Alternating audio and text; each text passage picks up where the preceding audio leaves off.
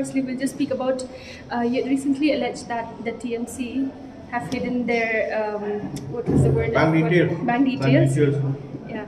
So Um, yes, this is part of a you know election petition that uh, uh, my lawyers have filed, and uh, this is um, I think filed within that stipulated time, uh, uh, which is allowed under the People's Representation Act, and um, there are certain discrepancies in the. Uh, uh, in the affidavit which was filed by uh, my opponent at that point of time.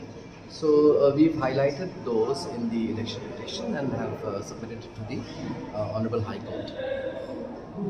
When did you file this one?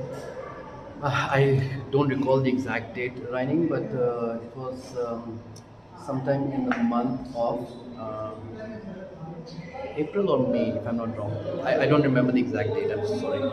So has the hearings process started? Uh, yes, uh, I think uh, you know the first uh, process is always to uh, you know uh, file affidavits and, and sorry um, you know uh, s- submit necessary documents and all that. So that process is happening. so just uh,